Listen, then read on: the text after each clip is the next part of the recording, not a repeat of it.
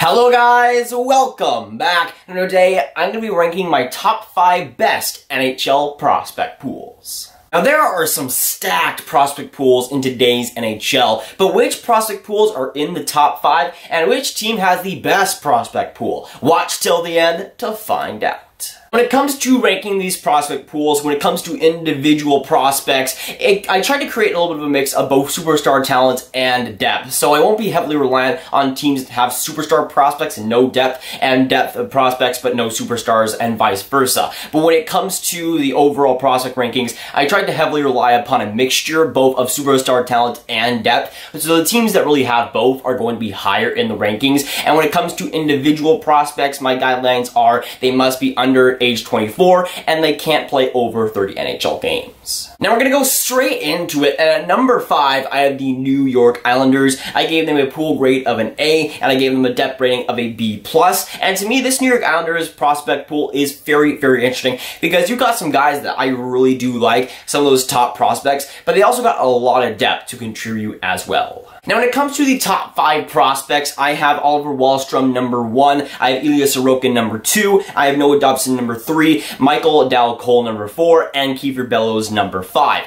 And that top five is very, very solid. I really do like Oliver Wahlstrom, even though he hasn't had the greatest NCAA season so far. I love his potential, and he could have one of the most, he could be one of the most prolific goal scorers in the league someday. I really do think that. You also got Ilya Sorokin, who has been a KHL beast for a long time. It's all about if he'll actually transition to North America. And if that happens, watch out because he's going to be great. Going on to Noah Dobson, he's had an interesting season so far. He started out badly and then got traded and he's doing well so far. So he's still a pretty solid prospect in my books. You got Michael Dal Colle, who has been great so far in the AHL. He's really resurged and kind of shun away the prospect bust that he's kind of been labeled as. And last but not least, you got Kiefer Bellows, who's kind of fallen off a little bit, but his AHL career has come off to a little bit of a slow start, even if he has amazing potential potential. And even without that top five prospects, the depth is very, very good. Right after that, you got Bode Wilde, who is fantastic defensive prospect in my mind. You got Logan Cockerill, who was on the USA World Junior Championships team. Ruslan Iskhakov, who is a very solid prospect as well. Uh, Michael Van de Sompel, who is a very solid defensive prospect in the AHL. You got Otto Koivula, who has been amazing so far in the AHL. So there's a lot of guys and a lot of depth. And while you do got superstar talents like Wahlstrom, like Sorokin, like Dobson, they got a lot of solid depth guys, and for the Islanders, those are the kind of guys they'll need over the next couple of years. And when it comes to the positions, they're very well spread out. Sorokin could be a number one goaltender in the NHL someday if he really does develop. Oliver Wahlstrom could become a prolific first-line winger. You have Dobson, who could become a top two defenseman in the NHL. You've got guys like Kiefer Bellows, who have skyrocketed when it comes to potential. So for me, I see a lot of depth here, but also a lot of superstar talent that will help the Islanders for years to come. Now heading in on to number four, and at number four, I have the Toronto Maple Leafs. I gave them a pool grade of an A and a depth rating of a B+. plus. And to me, this Maple Leaf system is very, very unique in the sense that they have a lot of younger guys, but a lot of those guys have been progressing very, very well in the sense that a lot of them are in the AHL. You got a lot of guys progressing and could be on the Toronto Maple Leafs in the next few years the way they're playing right now. And when it comes to the top five prospects, at number one, I have Timothy Liljegren. He is the best defensive prospect for the Toronto Maple Leafs, I still think. Even though he's had a little bit of a rough AHL season, he is still 19. He still has a ton of potential and will likely be the number or number two guy for Toronto going into the future after Morgan Rielly. At number two, I have Rasmus Sandin. He has really progressed and started out the season in the AHL and looks like just, just comfortable. He really is young, but he's one of the youngest guys in the AHL and still producing as a defenseman. At number three, I have Jeremy Bracco, who I didn't expect to be this high a year ago, but he has been an amazing pace in the AHL with the Toronto Marlies and could get a shot in the next couple of weeks with the Toronto Maple Leafs. At number four, I have Ian Scott, who is an amazing goalie prospect who has really progressed in the last year. He's been great in the WHL and could be a future guy for the Toronto Maple Leafs, whether that's a backup or a starter. And at number five, I have Adam Brooks, who is in kind of the same position as Bracco, a little bit lesser so, but has still been producing great in the AHL. I mean, even without those superstar prospects that Toronto has with Liljegren and Sandin, they have a lot of depth that is also in the AHL and in some pretty major leagues that will come up in the next few years as well. And you got guys like Timashov who've been great in the AHL,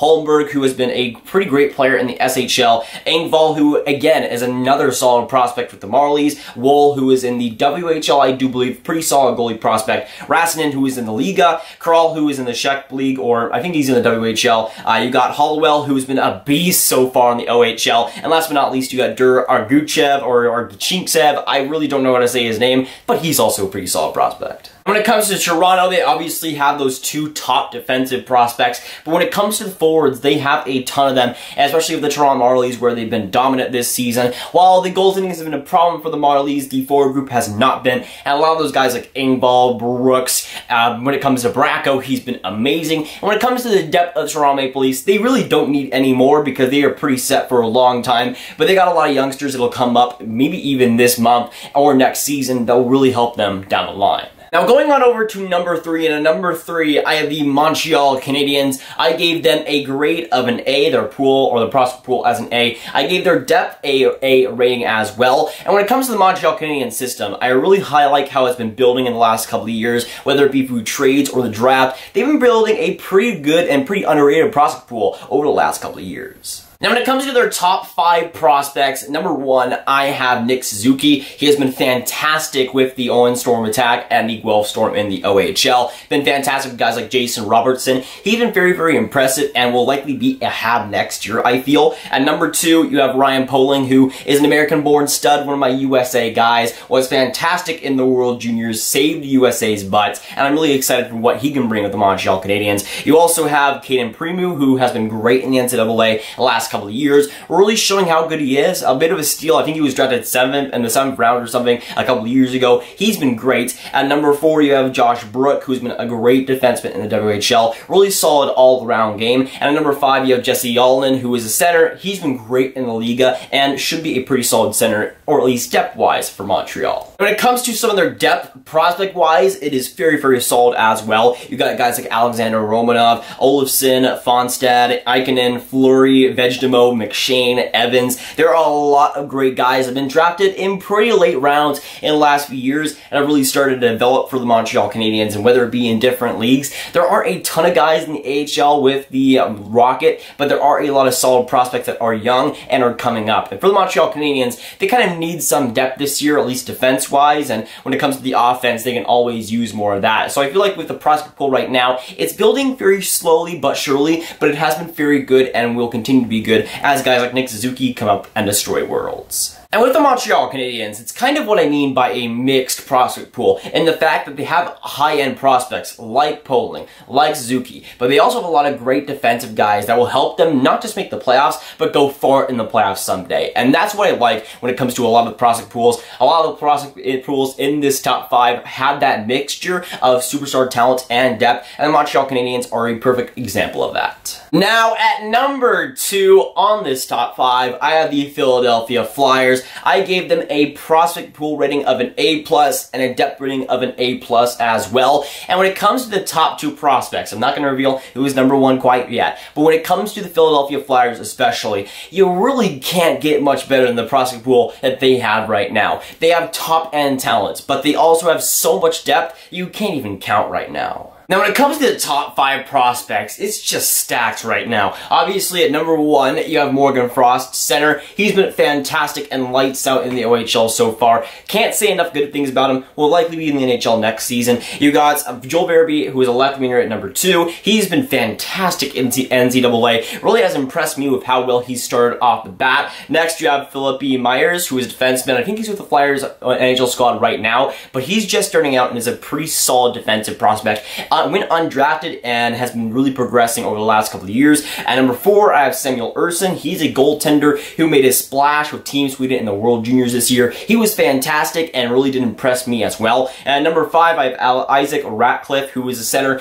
with the Guelph Storm of the OHL. He's been fantastic as pretty much always. Now, when it comes to the depth, there is just too much to count. It's just absolutely ridiculous how much the Flyers have depth-wise. When it comes to depth, guys like Vorobov, Rupsa, Zamola, O'Brien, Matthew Strome, Cates, Labrille, Wiley, Jennings, St. Ivany. There are so many solid prospects that the Philadelphia Flyers have. Now, not any of those guys are going to come become top talents, I feel, but a lot of those guys are going to contribute depth-wise, and a lot of those guys will likely be NHL players. And on top of guys like Morgan Frost already in the top five, it is really going to create a good youthful movement with the Philadelphia Flyers, which is something that they kind of need right now. And while we already saw a little bit of a youthful movement in Philadelphia of Sean Couturier, Provorov, Gostisbehere, that was the last movement. But with the Philadelphia Flyers, their prospect pool has been so stacked over the last couple of years that guys like Carter Hart, Oskar Lindblom are starting to really become solid NHL players. But guys already in the prospect pool, even though there have been a lot of guys graduating from it, it is still fantastic and deserves a lot of respect for how good it is.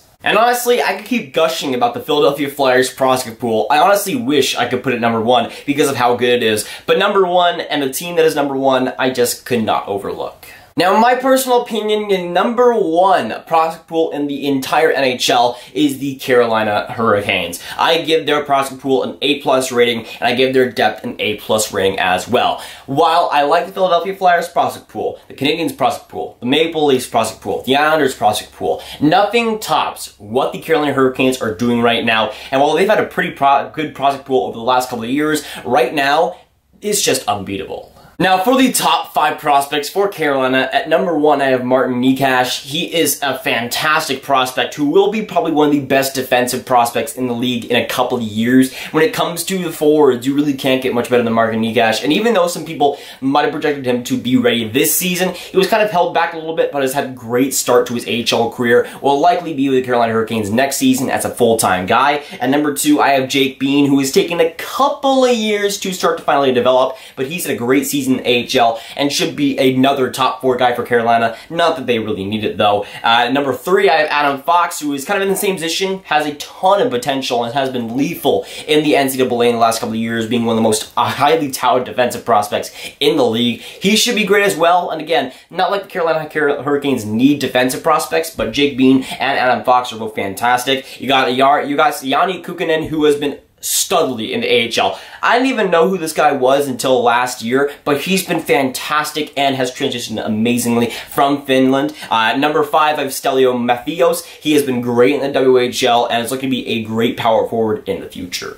And when it comes to the depth also, you got big names like Delkovic, Geekie, uh, Guche, Ristolainen, Killinen, Drury, Cotton, Sellgren, Sorella, Fleury. And when it comes to that prospect pool, that top five is lethal as well. But the depth has a lot of guys that are very, very underrated and a lot of guys that will contribute amazingly to the NHL team. And guys like Nedeljkovic could be the future of the Carolina Hurricanes when it comes to goaltending. Guys like Geekie are going to be fantastic players, I feel, in the future as they start to finally develop. But again, a lot of those guys are on their AHL team. A lot of those guys are in high professional leagues, and that's what makes it so interesting and so impressive. For the Carolina Hurricanes, while a lot of other teams have a lot of solid prospects in the CHL and the NCAA, the Carolina Hurricanes have a ton of prospects providing a lot of offense and a lot of defense for some fantastic leagues. And when I said earlier that I was prioritizing mixture in prospect pools, the Carolina Hurricanes are that perfect, perfect scenario and the perfect example. When it comes to their prospect pool, uh, there's a ton of guys that prioritize offense, a ton of guys that prioritize defense, a ton of elite forward prospects, a ton of elite defensive prospects.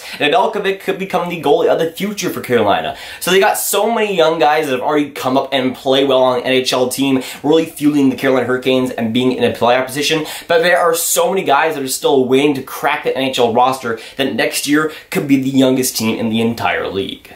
And even though the Carolina Hurricanes are still a very young team right now, when guys like Martin Necas come in, guys like Jake Bean come in, it's going to get even younger, even faster, and a lot of these guys are perfect for today's NHL. Prioritizing offense, prioritizing speed, a lot of these guys have those kinds of qualities, and for the Carolina Hurricanes, they are building a prospect pool and a youthful core that'll succeed for a long, long time. But of course, with this video, I want to hear your guys' thoughts down the comments down below. So let me know what you think about my top 5 prospect pools. Do you agree with my rankings or do you disagree with my rankings? And of course, let me know your top 5 down below. Which team has the best prospect pool? But if you guys want some more Grav videos just like this one, you can click on this card right here to watch my video about my March edition 2019 NHL mock draft.